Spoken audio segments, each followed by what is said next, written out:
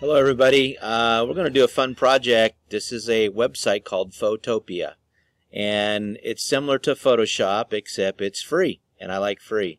And this is an online uh, website so you can go there if you want to open up your browser. It, I don't think it matters what you use. I'm using Google Chrome. If you want to use Internet Explorer uh, or Microsoft Edge, whatever you have for a browser, Safari, um, I think any of those will be fine. Uh, it, it shouldn't matter. The website's the same. Um, but you can see the spelling on your screen. Photopea, it's a strange spelling, dot .com. So P-H-O-T-O-P-E-A dot .com. And anytime during this uh, demonstration, if I go a little bit fast, which sometimes I do, the good thing about video is you just pause the video, back it up, and you can watch that section again. All right? So first thing we're going to do is we need to get a photo. And um, what we're going to do now is something a little gross, but we're going to we're going to do what I call the extreme makeover. We're going to do a few projects, uh, editing an actual photo, a person's face. And the one thing that's kind of gross is people with, when you get pimples. So you may have taken a um, school photo, and maybe the day of the school photos you had a big old zit right in the middle of your nose. Well, they actually have a, an option on your form when you ordered your photos where you could have paid extra and they could have done some blemish removal to get rid of the blemishes, the, the little pimples. Um, and then they have something called professional touch-up. I think it was like $12 additional to make your photo look even better. So they spend a little time editing your photo. And they use Photoshop for that. Adobe Photoshop is is the well-known uh, software for using it, but it's a little bit expensive. It's $9 a month uh, it's like a subscription where this is completely free. So go to google.com and you can see what I typed up here. I typed face with pimples and spell it correctly because if you do it differently or you write it differently, you'll get a different result. Because I want you to get the same exact photo I'm getting today so we're working together. So face with pimples and this first photo right here, this is the one I'm going to get. So if you click on it, it will actually show to your right. And when you see this photo, if you when you click on it over here, it should open over here a little larger. So this is just a, a photo we're going to borrow for educational purposes. So we're going to right click your mouse button, right click, and this will come up and select copy image. So I'll click on copy image and then I will go back to the Photopea website and then we're going to start a new project. Now when you first open this website there was probably a banner at the top that said Photopea. You click on that little tiny little X and that'll close that banner so you see what I'm seeing here. Okay, so on the top left it says File. You click on File and you go to New. And when it comes up, you got a new project. It says here so I'm going to name that. Uh, I'm just going to type it acne, A-C-N-E, acne. And then the width and the height, it says PX, that stands for pixels. Your images are made up by pixels, in pixels per inch. But we're going to change this. I'm going to scroll down and get the IN, that stands for inches. And then the width and the height. Alright, so our width, if you want to delete what's in there, I'm going to put my width is going to be 8 inches and my height, which I have in there already, but I want to set my height to 10 inches. So you just put 8 there, click in here, and I'll put 10. The DPI is called dots per inch. You can leave that alone. It says 72. My background says white. That's fine. And right here is a little button that says create. So click on create. And it's going to start our project. Alright. And so we have a blank screen. So so Photopea or Photoshop is laid out with your tools here on the left. This is your toolbar. Uh, this is your menu at the top. And on the right, these are called layers, and layers are pretty awesome. It's kind of, if you think of stack of papers, you're going to stack things on top of each other, and you can move them up and down, put one on top of the other. Um, that's how Photoshop and Photopea works. And we'll get into that another time, but we'll use a little bit of the layers over there. Alright, so now we want to get our image in here. It's just a blank piece of paper. So we're going to go to Edit and go down to Paste. Now on the right it says Control V. That's another shortcut to paste it. And I'll click Allow. This says it wants to get image on clipboard. I'll click Allow on that. And there's our picture. Now I'm going to make this a little bit bigger. So if you look on the right now, we have two layers. We have a background layer, and then this layer one is the photo layer that I have. So I'm going to select this. To select this, there's a couple ways to do it. So um,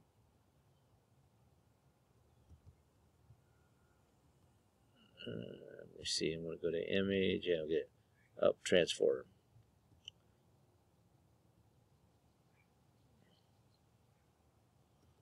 Alright, so there's a shortcut on your keyboard. So I want you to look at your keyboard and you have a control key, CTRL, and an alt key. And if you have an Apple computer, um, I think it's uh, your Apple key, and there's a command key. So I'm going to press Control Alt, hold those two keys down, and then once you and then press the letter T, Control Alt T, and that's called Free Transform. It selects this. So again, hold down the Control Alt key and then the letter T. Tap it. And then you'll get this selection. You'll get these little boxes around here. So I'm going to grab this little corner box with my left mouse and we'll hold it down and then I'm just going to drag it so it goes in. Now don't squish it like this. So I want to show you a little trick. I want to click the X sign here. Cancel that. Control Alt T. If you hold your shift key down hold your shift key down and grab the corner. It won't squish. It'll automatically scale your image equally from the width and the height. That way it won't um, it won't uh, distort your photo. Okay once that's been scaled you get all the way to the edge a little bit bigger so we can work on it a little easier. You click this check mark at the top called confirm or you can also press your enter key and it accepts it.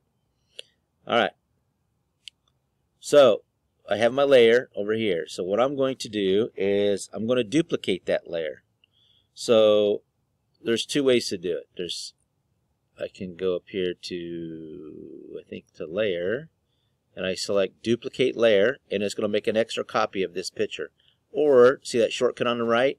These are the shortcuts control J. So you can click duplicate layer or control J. And you look on the right, it says layer 1, layer 1 copy. Alright. So I'm just going to leave that. You can rename these, by the way, but I'm going to leave it for now for this project. Keep it simple today. Okay, so now I'm going to zoom in on the photo. All right, to zoom in, hold your control key down with your left finger. Control, hold it down, and then you have a plus and minus sign. It's probably next to your backspace key. So control and tap the plus key, and that zooms in. Minus will zoom out if you hold control down. And I just want to make it a little bit bigger so it's a little easier to work on.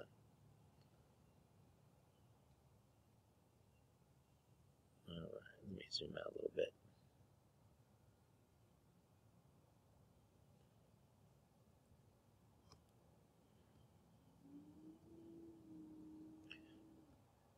Okay, so trying to get something here.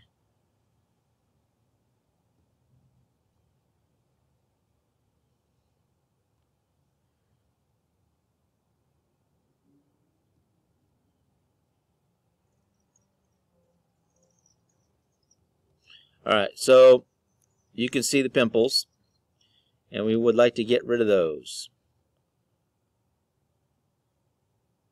So what I want to do, let me adjust something here.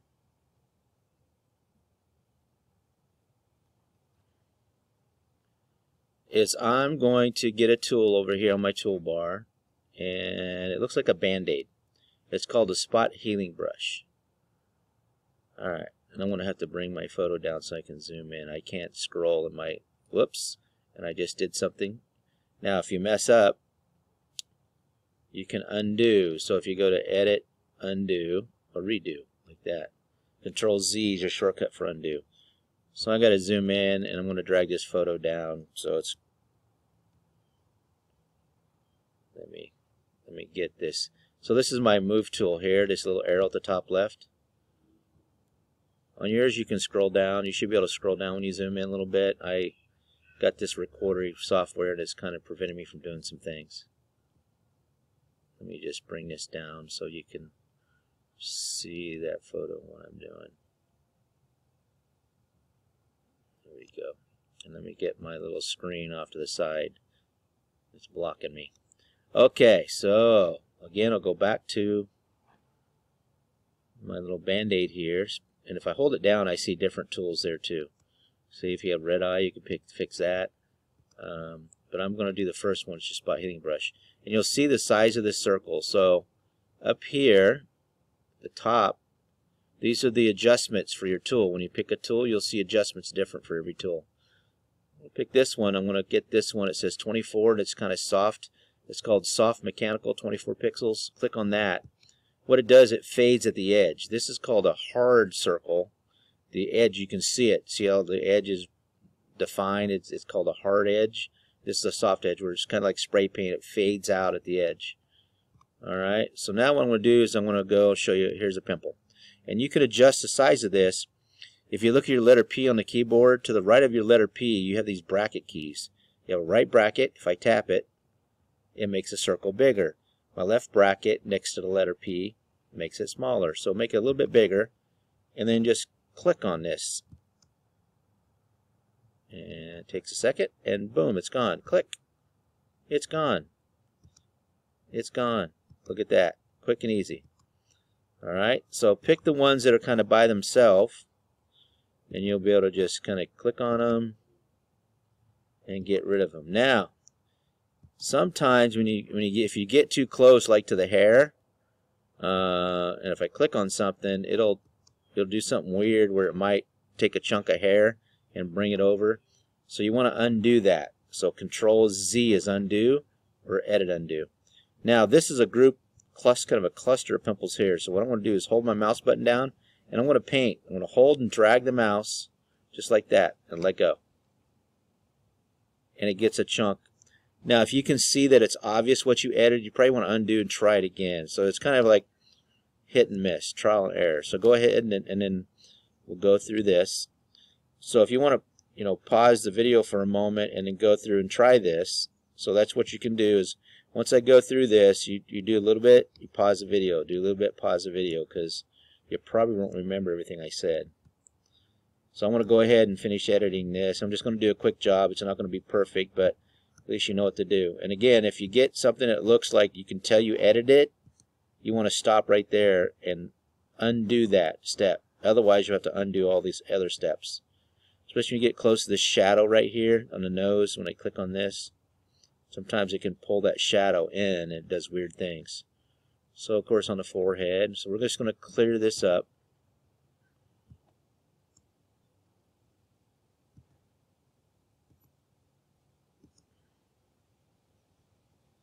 And, it's not perfect, but I just want to quickly show you. Now, over here on the right, you have the layers towards the bottom. And see these little eyeballs? These are called show hide.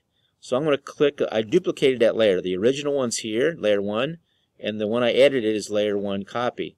So if I click on that little eyeball, watch. Whoops. Now, I drug mine back. Let me zoom out. I need to line my photo up again because what I'm going to do, you can't do. So to move my photo, I get my move tool here. And just bring that back. Okay.